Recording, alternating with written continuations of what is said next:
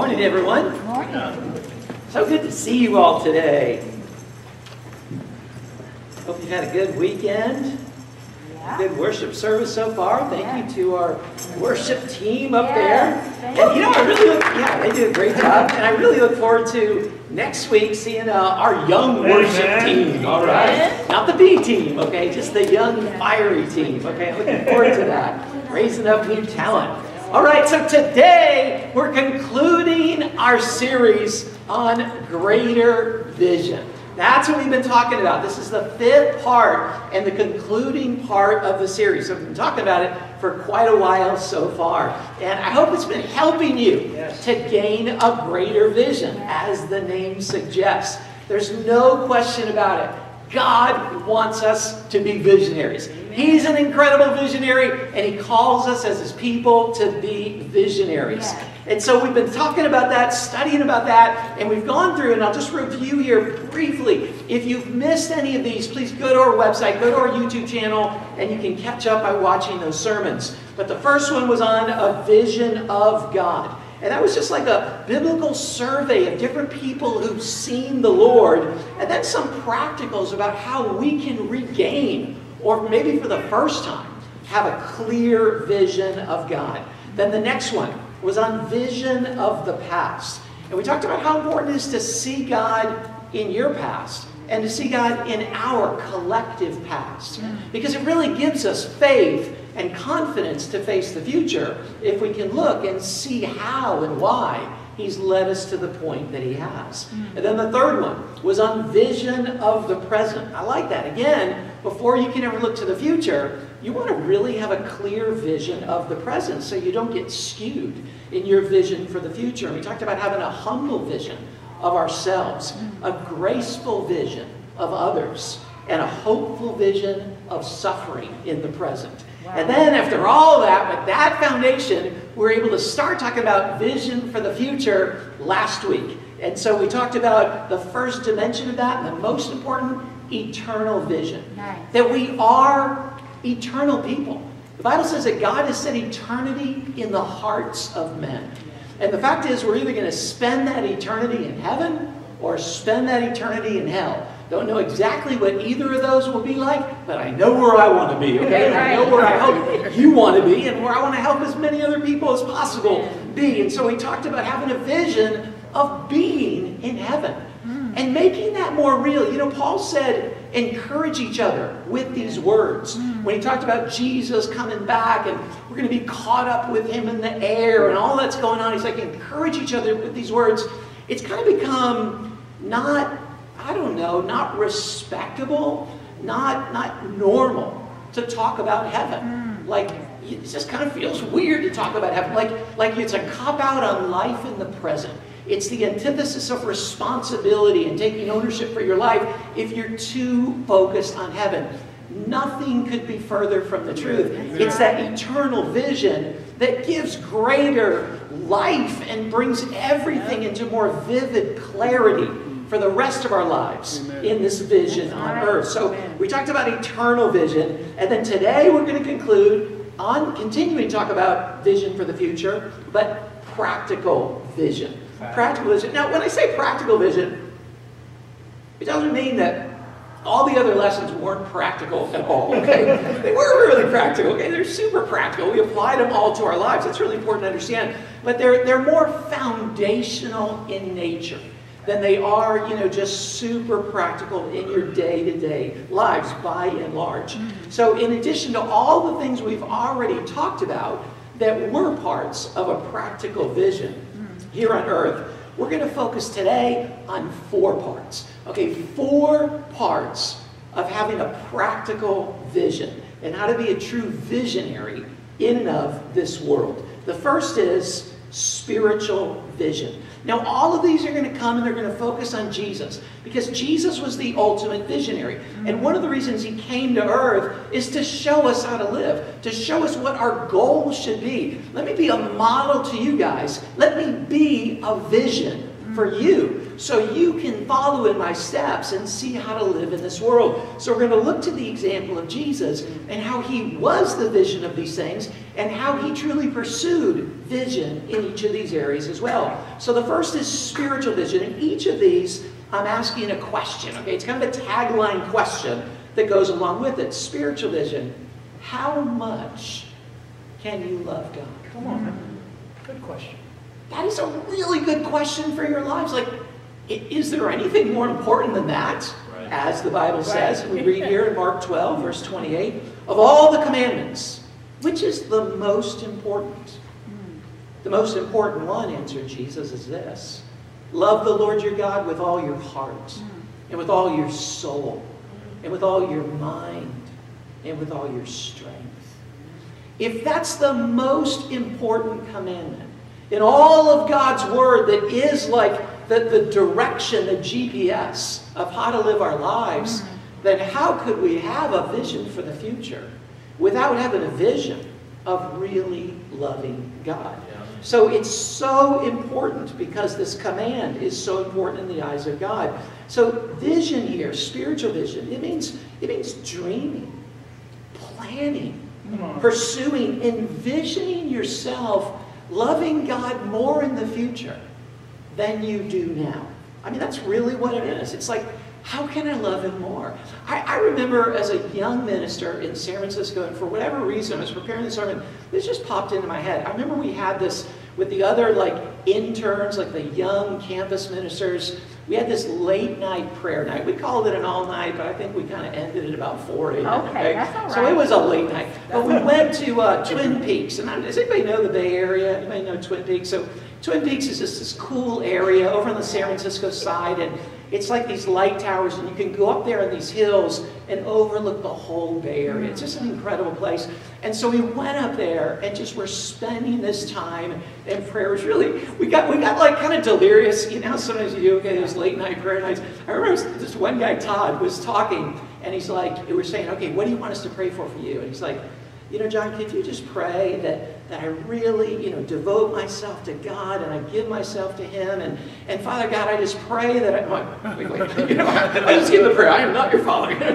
like he just kind of, he kind of lost it. He was like falling asleep. He thought he was praying to me or whatever. I'm like, okay, it's time to go home. But I remember during that time, just going off and we had this alone time. And I remember thinking, read, I was reading the Psalms and I thought, wow, David loved God so much. Mm. Then I thought, has the person who's loved God more than anyone else ever did already lived?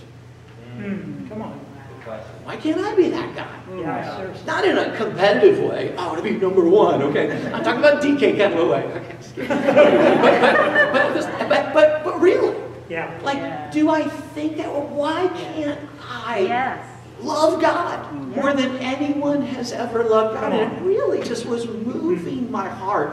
Well, when you look to Jesus' example, you see how much he loved the Father in some really practical ways. You see that he loved him enough to get baptized. And these are appeals to us practically as well. How can we love God more? Love him enough to get baptized. Luke uh, 3.21, you can look it up later. It says, when all the people were being baptized, Jesus was baptized too. He's like in line. Okay, lining up. All right, time for me to get baptized. When he was, everyone's getting baptized, he got baptized. Love God enough to start your journey. Okay. Like to commit your life to him. That's like your, your wedding. Love him enough to, yes. to put a ring on it, right? I mean, love him enough to say, I'm committed for life. That's what baptism is all about. Awesome. I love seeing people studying the Bible. I love seeing people thinking about becoming a Christian. If you're one of those people, love God enough mm-hmm. To get baptized and become a Christian. Then we see it with Jesus in another appeal practically. Love him enough to spend quality time with him. Yeah. Luke 5 16, it says, Jesus often withdrew to lonely places where he prayed. Awesome. You know, I love that because Jesus was here for the people. And he was always immersing himself in people and giving and giving. The crowds are pressing against him. Till late at night, he's healing their disease and sickness. So you think of him as always with the people, but that wasn't the case because he often withdrew yeah. to lonely places sure. where he prayed. There were times the disciples go, Where is he? There he is walking on water out in the middle of the lake. Where is he? Oh man, he got up before everybody else just so he could go be all alone so he could pray. He pursued God. It's interesting. You go, even Jesus prayed, which is kind of a mind bender because we pray through Jesus and you go, wait, you are God in the flesh. Are you praying to yourself? You're like, how does that work? But he had all the limitations of man as well. And so he knew how crucial prayer was. Even though he had this open line with the Father, they're one and the same. He still loved the Father enough to want to spend quality time Awesome. with him. Wow. What marriage that's successful doesn't understand that? Yeah. How much more if we love God will we mm-hmm. want to spend time with Him? Another practical, love Him enough to please Him with your actions. John 8 29. The one who sent me is with me, for I always do what pleases Him. Mm-hmm. Ooh. A lot of those words we could say. I bet every one of us could stand up and say, The one who sent me is with me, for I do what pleases Him. But that one word always Wow. Mm. is Yeah. what sets Jesus apart. Can any of us say that? Always. Always for the last minute. I mean, that's about, maybe that's my record. I don't know. Maybe I just got vain and I indeed ended that record. I don't know. But, but, but no, I mean, that always, you go, wow. He loved God enough to always do what pleased him. He's tempted to, to, to maybe commit a sin. He's tempted to omit something God wants him to do. He's tempted to cut back. He's tempted to compromise. But he's like, I will always do what pleases him. And so I think about that. I go, I want to love God enough. I want to, I envision the future where I love him enough to, to, I've already become a Christian, or I remain a Christian. I want to love him enough to where I want to spend quality time with him. I want to love him enough to where I, I always do what pleases him. That is my goal. That's what, that's what spiritual vision is all about. So, what's your spiritual vision? How much can you love God? What are you doing now that if you were to take your love for God to the next level Yes. would change? Mm-hmm. What's that thing? What's mm. that sin to give up? What's that prayer to start happening? What's that lonely place you should start going to often? What's that commitment you should start following through with it? What is it for you? But that's where a vision should always be. How much can I, can you love God? Yes. The next part of this practical vision, relational vision. How much can you love others? Again, we looked at Jesus. That same passage in Mark 12. The second, second greatest command is this love your neighbor as yourself. Love your neighbor as yourself. Jesus, again, was the perfect example of this. Like, you look at how he loved all the physical, mental limitations that we have, right? I mean, he was hungry, he was tired, he was thirsty. I mean, he hurt, you know, it wasn't like that cross didn't hurt, wasn't like, I mean, he had all those limitations. And yet he just kept loving and loving and loving. And, and probably unlike us, there were very few that really loved him back. And, and for those who didn't love him back, there were many that didn't just walk the other way and go, hmm, I'm not going to love him, Right. but who actually hated him and pursued him and picked on him and, and persecuted him and eventually killed him. And yet he just kept loving. Look at some examples of this. In, in Matthew 5, verse 44, he tells his disciples, Love your enemies and pray for those who persecute you. He's not even commanding them to love their family, stuff like that. There's other verses. But he's like, let's talk about who you're not loving. Let's talk about the people that are the hardest to love. My expectation is you will love those people. Wow. Whoever is your enemy, you go, I, I don't have an enemy. Well, there's somebody that you're tempted not to love. Maybe they're in this room, maybe they're not, maybe there's somebody else, maybe someone from your past. Hmm. But that's the relational vision. How much can I love? Who am I not loving that I can start hmm. loving? Hmm. John 13, verse 1. Having loved his own who were in the world, he now showed them the full extent of his love. Yeah. And who remembers what he went on to do right after that? Wash the disciples' feet. So here, you know, the first 12 chapters of John, Man, he's doing a lot of things to serve and love all these people. But he's just sitting there going, okay, you know what?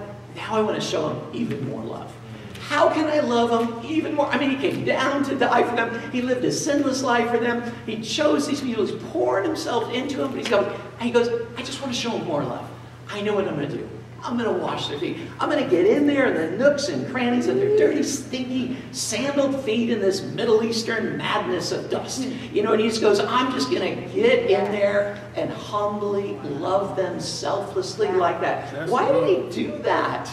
He just wanted to keep pressing his love, pressing the envelope. Not to love like he already had, but to love even more. So he pressed it. John 13, verse 34, he goes on, A new command I give you love one another. As I've loved you, so you must love one another. By this, all men will know you're my disciples if you love one another. We looked earlier, the second greatest command love others as yourself, love your neighbors yourself. He's like, man, I got a whole new expectation for you. Now, in these first 13 chapters, now including the washing of feet, all the ways I've loved you, loved you, that's how you are to love one another. And the world is going to see that love. It's going to be so strikingly different from everything else that they're going to go, that could only be Jesus. Yeah. That was his vision. He's just pressing that love. Not just content with him pressing his own love, but calling others and pressing them to Yeah. love just like him.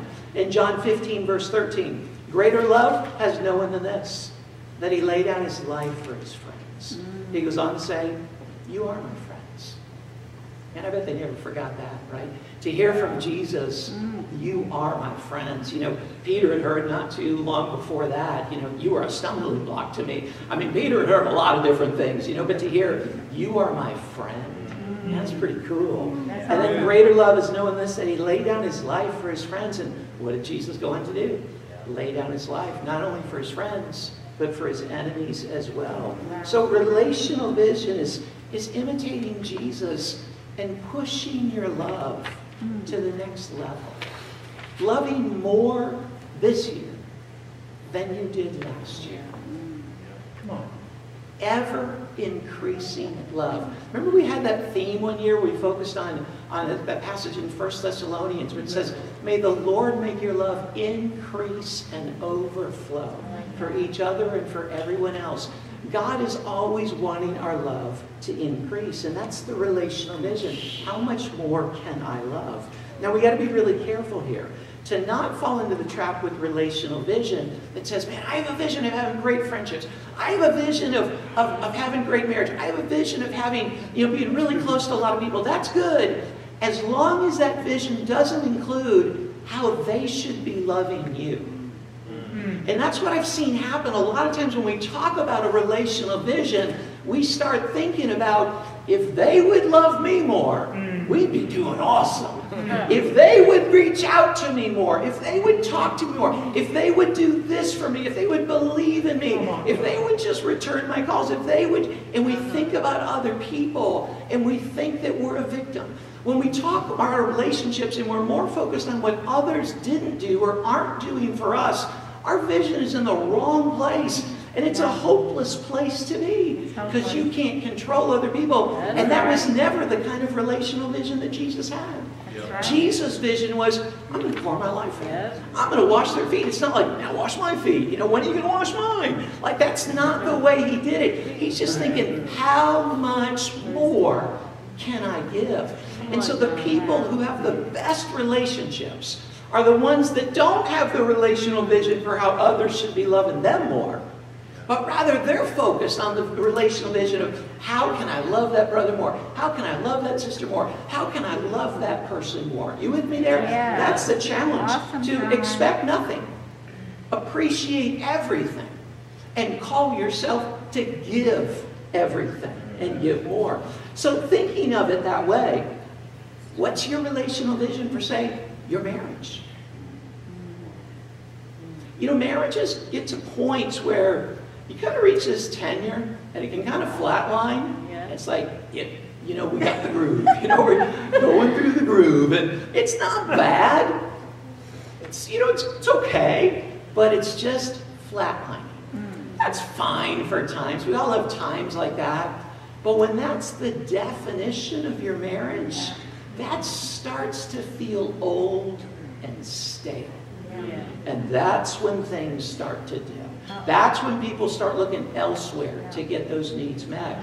What's the next level for your marriage? I was talking to a brother just this week, and he was, he was bringing this up, and he goes, You know, what I want to do with my wife, I, I want to get a book, and, and where we're each reading it, and we're reading it through it together, just to deepen our marriage. Because I just this year, I want our marriage to get deeper. And he's got a great marriage. I would look at him and go, Man, you can teach classes on marriage, but he's just thinking, What's the next level? See, that's the relational vision that we're talking about. Same with parenting.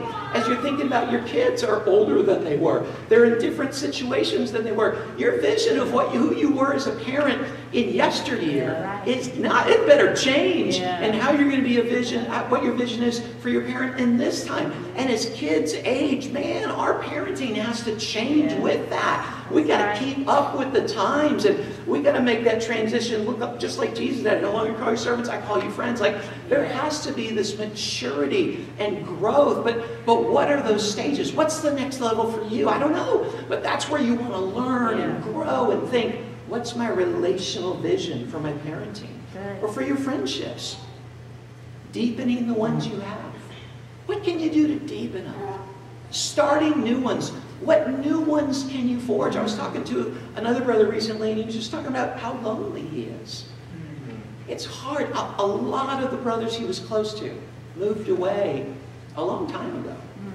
And he's just been kind of hanging there for a few years. And he's a great brother. But you know, that's where you got to get a relational vision of going, Yeah. okay, I got to build new ones. Yep. It's not just going to come to you. The vision isn't when is someone going to love me? That likely won't happen. But the vision has to be how can I love more? That's good. What's the next level in your friendships? Or boyfriend, girlfriend, future marriage? What's go. next level for you? Next what level. can you do to pursue that vision? We all need relational vision. You know, I was really inspired several weeks ago when Jen Dunn shared in a welcome, and she shared it a few different times in a few different ways. She may have a, a, a relational vision for having a boyfriend one day. I'm not really sure about that. But I know as a single woman, she has a vision for right now of how she can serve and love and be like an auntie Yeah. to all the young Yeah. ladies in the church. And she's like, I am going to love them like they're my own. I'm going to have weekend sleepovers. I'm going to take them here and take them there. And I just look and I go, that is so amazing. Yeah. Not having a vision for something she don't have, she doesn't have, or can't control, but going, I'm going to have a vision for what I can control Yes. and what I can give. And isn't Jen just an incredible example? I love that. That's how we all need to envision in our have vision our relationships, vision for how you can love more. And those visions have a lot better chance of becoming a reality. So, relational vision, spiritual vision, how much can you love God? Relational vision, how much can you love others? And third, individual vision. How can you be most useful to God? How can you be most useful to God? Again, Jesus was a master of this. I mean, no single life, well, has any just individual life ever been more useful to God than Jesus? Put it that way. I mean, I can't even imagine one. You know, maybe second is Paul. I, I don't know. But you go, that one life, gosh, I mean, he used every talent, every waking hour, every resource, every bit of energy just to glorify God, to be useful for God. And he wrote about it quite a bit in, uh, in Matthew chapter 25. Let's go ahead and read this together. It's too big to put the whole slide up here. But in Matthew 25, beginning in verse 14, speaking of the kingdom of God, it says again, it will be like a man going on a journey who called his servants and entrusted his property to them. To one he gave five talents of money, to another two talents, and to another one talent, each according to his ability. Then he went on his journey. The man who had received the five talents went at once and put his money to work and gained five more. So also the one with the two talents gained two more. But the man who had received the one talent went off, dug a hole in the ground, and hid his master's money. After a long time, the master of those servants returned and settled accounts with them. The man who had received the five talents brought the other five. Master, he said, you had trusted me with five talents. See, I've gained five more. His master replied, Well done, good and faithful servant. You've been faithful with a few things. I'll put you in charge of many things. Come and share your master's happiness. The man with the two talents also came. Master, he said, you entrusted me with two talents. See, I've gained two more.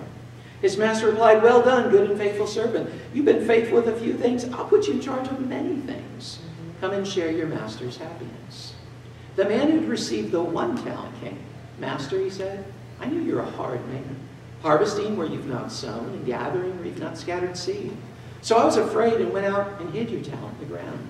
See, here's what belongs to you. His master replied, You wicked, lazy servant. So you knew that I harvest where I've not sown and gather where I've not scattered grain. Well, then, you should have put my money on, on deposit with the bankers so that when I returned, I would have received it back with interest.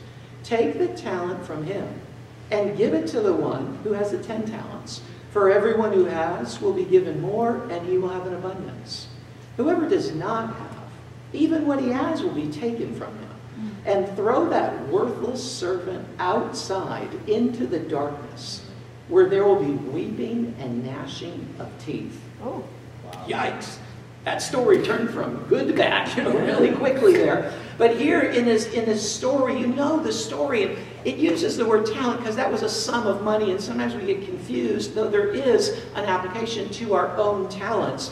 But the point is, the master gave a certain bit of resources to each person. Some used those resources for the master's purposes and for his glory, and one didn't. He's like, nah, I'm going to do something else with it. I want to kind of do my own thing and he neglected it. And the response from the master was really extreme. He goes, Man, that guy, he's lazy, wicked, and worthless.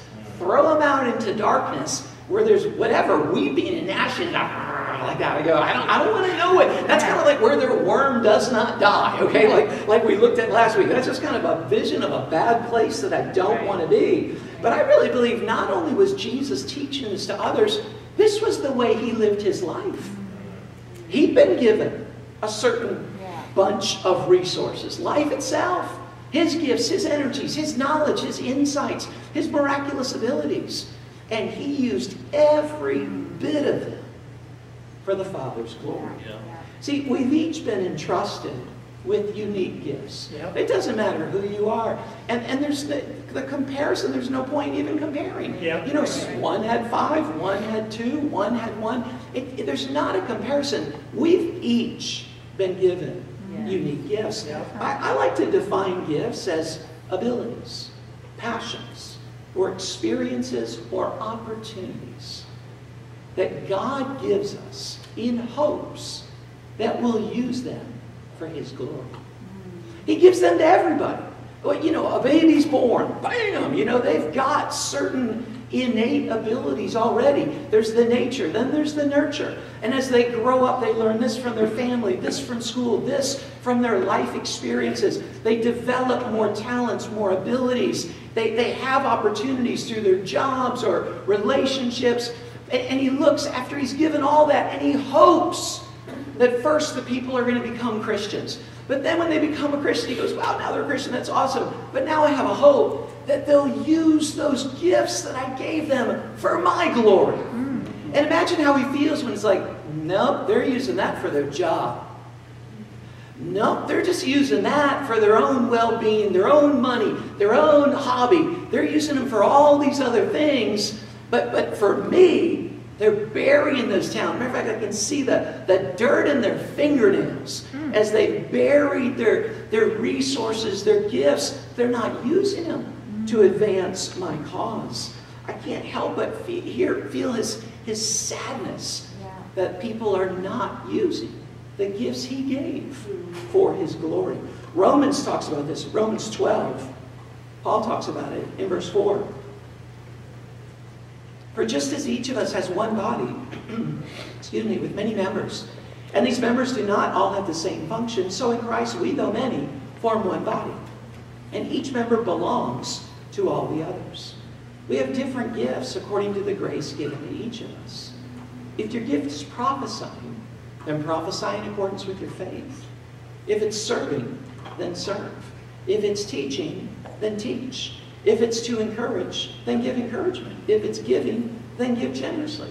If it's to lead, do it diligently. If it's to show mercy, do it cheerfully.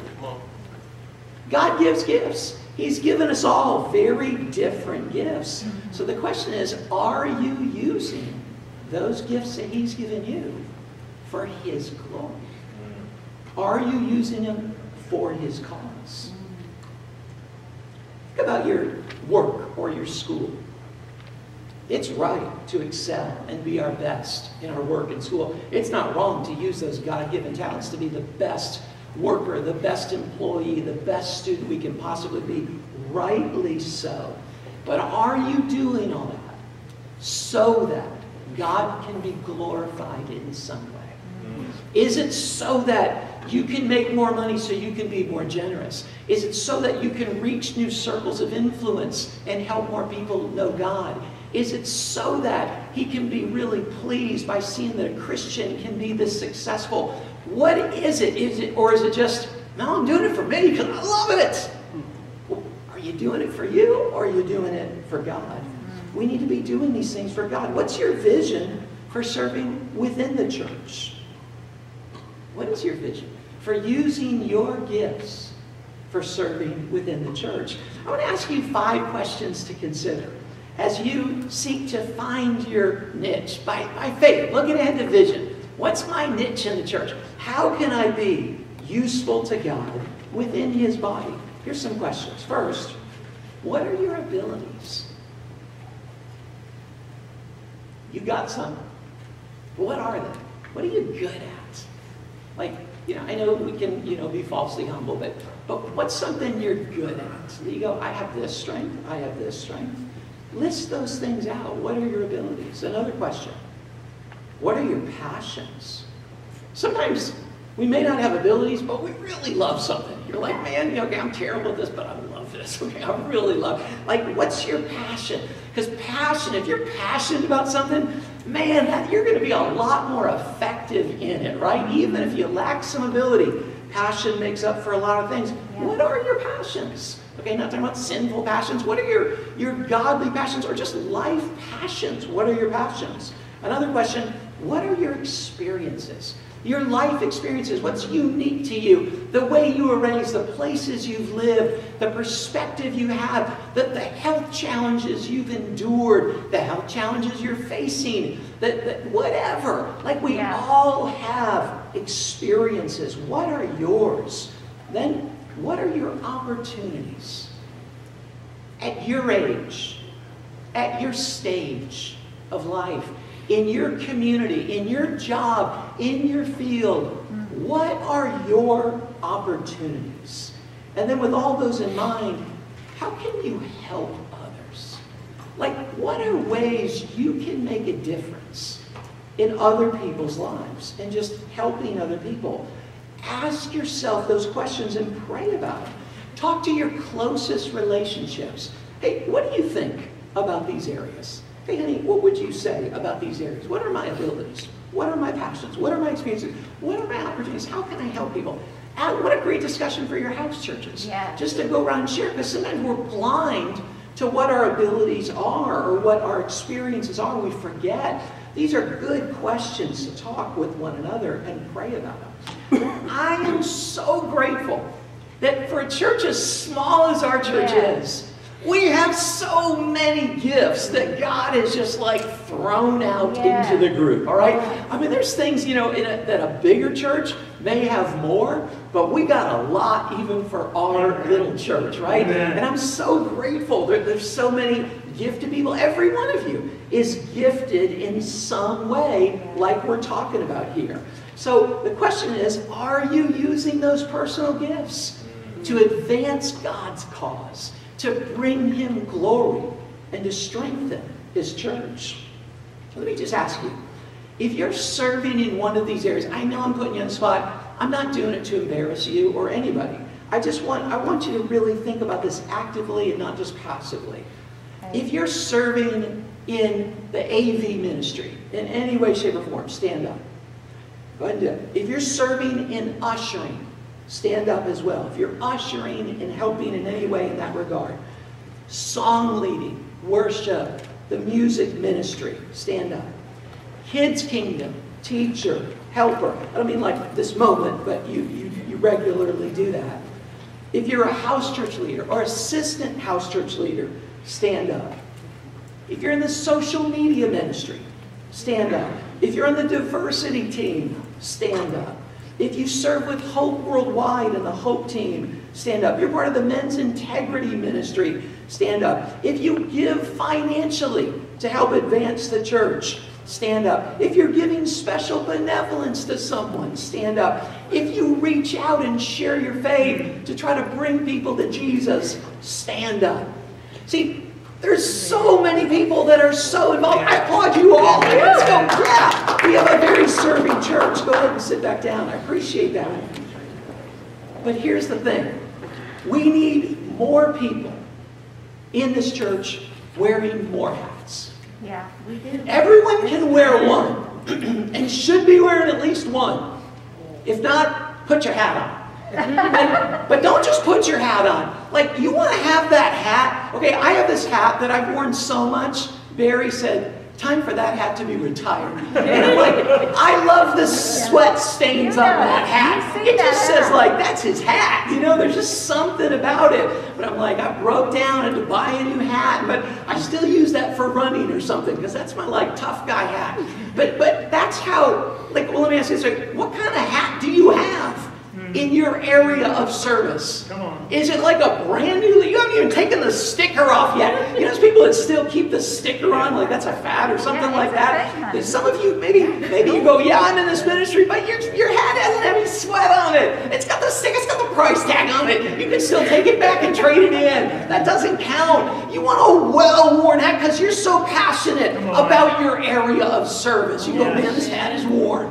But then one hat isn't enough. We have too much to do and too few people for everyone just to wear one hat. Man, imagine if everyone just wore one hat. We, we just like we wouldn't be able to have a Sunday service. So many people wear multiple hats, but we need more people wearing those multiple hats, right? We need more. Right now, in the body, let me just tell you practically Help us out. some of the greatest needs we have, and I, I put these out there for you to consider. Is God calling you to, to have a vision of, of helping people, of being useful to God in this way? We need more worship singers, especially men. Amen. We need more people to help with AV. I appreciate Hunter. Hunter shows up early every week. He's, he's what? Is, is he 10 right now? 11?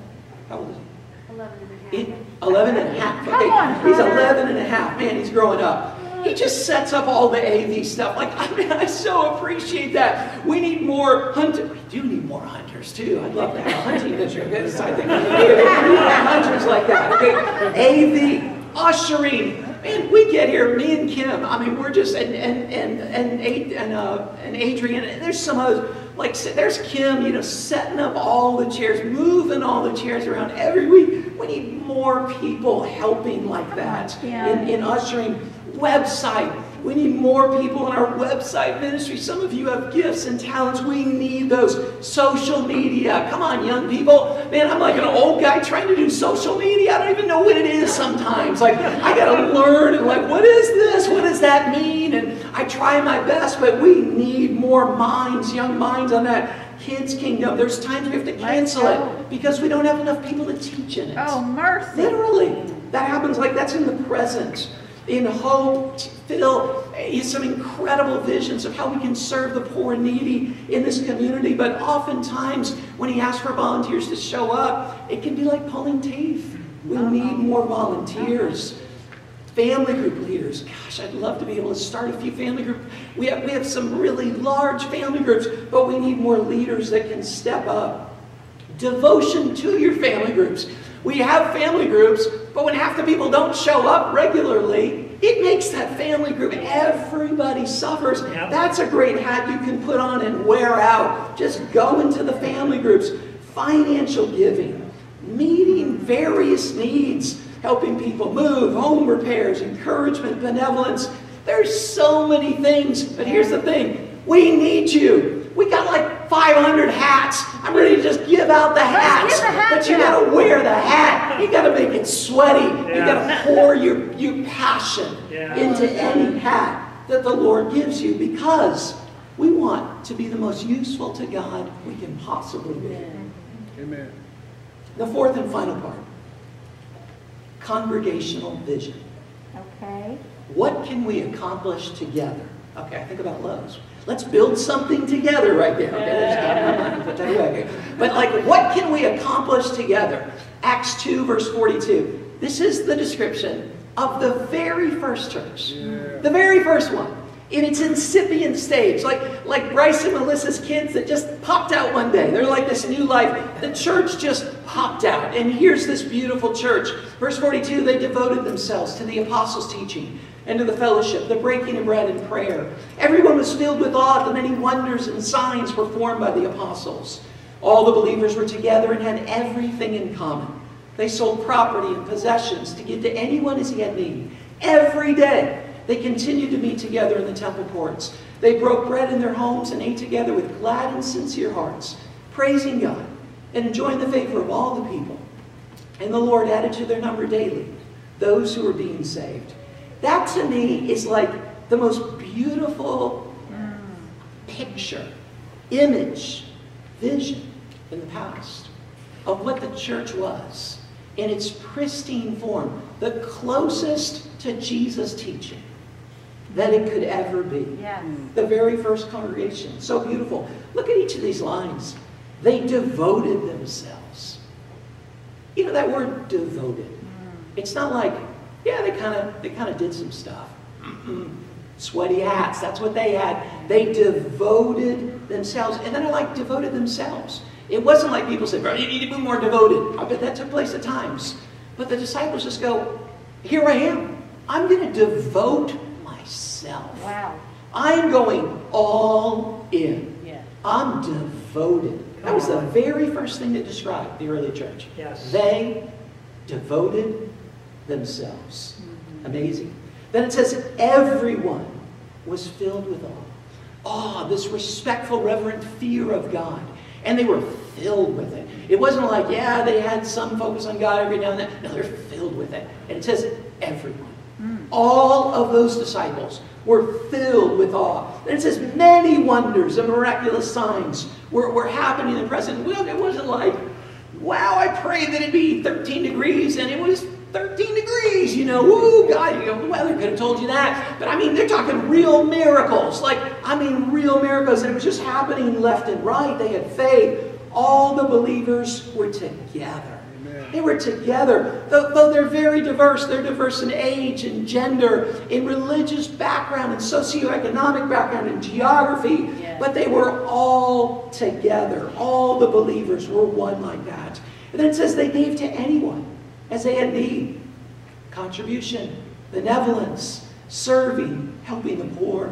They continued to meet together. It wasn't just something they did for like that first week. They continued. Mm. Like they just continued meeting together. They didn't stop meeting together. Mm-hmm. They had glad hearts, sincere hearts. Mm-hmm. They just love God and they're happy in their Christianity. Joyful devotion. It says they were praising God. They're focused on God. They enjoyed the favor of the people. People liked them because of what they were doing. And the Lord added to their number daily those who were being saved. Daily. Somebody's getting baptized every day. You just see that church growing every day because God was adding to their number. And then that church in Jerusalem, what's cool to read about in the rest of the, of the book of Acts is it just keeps getting replicated. It was replicated in, in Antioch, replicated in Corinth, replicated in, in, in Ephesus, in uh, throughout Galatian region, in Colossae. Like all the letters you see in the seven churches in Revelation, those are the churches that they go, it wasn't just that one, but they go, let's start a new church. And then it was replicated, and those churches had the exact same blueprints. When I close my eyes 2,000 years later, and I envision what every family group, every house church in our church should be, and what this congregation should be. I close my eyes, I go, what's my vision for the Des Moines church? It's that. Yeah. It really is. It's Acts chapter 2. Each of those lines we just went through, that's what I envision. That's what I pursue. That's my dream. That's what I really want to see happen. And then not only here in this church, but then to see that replicated and Ames for them to have their own church in Cedar Rapids in Iowa City, in Sioux City, just to be able to start churches where they're seen. Acts 2, 42 through 47 in the exact same way. And just going, wow, not only are there baptisms regularly, but there's replication of churches regularly. And then one day, God willing, in Iowa, to see the Lord add to their number daily Come on. those who are being saved. Amen. Wow. We had one day where three people was baptized. That was awesome. That was a good day. That was a good day. That made us daily for three days. But, but, but you know, daily throughout the whole year. Man, how inspiring would that be? If you're visiting, well, I really want to appeal to you. Be a part of our vision. Be a part of God's vision Yes. for the church. It's special. God is doing some amazing things here. We're on the move. We're breaking out of the COVID lull and, and moving on towards even greater things. And if you are visiting here today, we, we have these little booklets, and, and Phil shared a little bit about them. I just want to make this really clear. These are for the guests who come. Now, if a member wants one of these and wants to give them to their friends, you can order them on Amazon. They, they, they don't make any profit. Uh, the brother that did this, $3.99, order them on Amazon, you can give them to your friends. But the ones we have in the back, that's for any of our guests who come today. If you're interested in finding out more of what it, what it means to be a member of our church, this little booklet will guide you through some Bible studies along those lines. It's a great tool. But with all these visions and whatever else you envision, your life here on earth being, maybe you have a personal vision, personal passion we haven't talked about today. I would encourage you to remember the words Jesus gives that, that provide the energy, that provide the boost to not just pursuing a fantasy. The Bible says, all hard work brings a profit. He who chases fantasies lacks judgment. There's a difference between vision and fantasy. Vision is what happens. You ever hear that quote from, from Sir Lawrence from Arabia, of Arabia, T.E. Lawrence? He says, All men dream, but not equally. Those who dream at night in the dusty recesses of their minds awaken to find it was in vanity. But dreamers of the day are dangerous men, for they may act their dreams with open eyes Come to on. make them a reality. We're talking about being dreamers of the day, Wow. not just dreamers of the night, because we're acting our dreams with open eyes to make them a reality. So remember Jesus' words. Mark 10 27, with man this is impossible, but not with God. Mm. All things are possible with God. Awesome. And the words of Paul. Now to him who's able to do immeasurably more than all we ask or imagine, according to his power that's at work within us, to him be glory in the church and in Christ Jesus throughout all generations, forever and ever. Amen. Amen. To him who's able not just to do more than we ask. Like I think I can ask for a lot. Then he talks about all we ask. I go, okay, that's all I can ask, you know. Then you go, how about imagine? All that I imagine. I can imagine a lot. How about all that I imagine? That's a lot. How about more than all I can ask or imagine? That's getting up there. How about immeasurably more? I can't reach it. You can't reach it. There's no quantifiable standard measurement mm. that can reach the immeasurably more than all we can ask or imagine that God can do according to his power at work within us Wow. for his glory in the church. That's what we got to believe in. So dream big, spiritually, relationally, individually, and congregationally, Amen. according to his power Amen. that's at work within us. And help each other to find kingdom dreams like that. Greater vision. Undoubtedly, our God is a visionary God. Yes. He alone has the perfect vision of, of everything that has been, everything that is, and everything that ever will be. And as we're created in His image, we're His disciples. We're called to be visionaries to see like Him and help open the eyes of others and fulfill His visions for us and His church. Proverbs 29 18, without vision, the people perish. Where there's no revelation, people cast off restraint. We die, we rebel if we're not seeing, pursuing, connecting with the vision that God has for us. We all need vision to be and to do our best for God. I really hope this series helps you gain a greater vision for your life. Greater vision begins with a vision of God, then a vision of the past, a vision of the present, then an eternal vision for the future, and then you make it really practical and live it out every day. And to God be the glory as we in the Des Moines Christian Church have that greater vision. Amen. God bless you. Let's pray for the community. Our Father, thank you for being a visionary and for having vision for us, believing in us, calling us to your number, empowering us, forgiving our sins, blessing us with such a wonderful body. We know we have our weaknesses, our sins. We also know we have your will and you want us to accomplish things. Father, I pray you open our eyes to, to see the possibilities. Mm. Open our eyes to see what your vision for our lives is. Help us to see our strengths, our gifts, our opportunities. And then give us the courage and the faith, the power to be able to live out those visions and bring you glory. We want to bring you glory in the church here in Des Moines and all throughout the entire state of Iowa and the whole world. Father, help us now as we commune with Jesus, as we take the bread that symbolizes his body, the juice that symbolizes his blood. Help us to see what he sees and join him in his vision. To you be the glory. We pray this in Jesus' name. Amen. Amen. If you didn't get a communion cup, please uh, raise your hand. I'm sure the ushers will help you find one.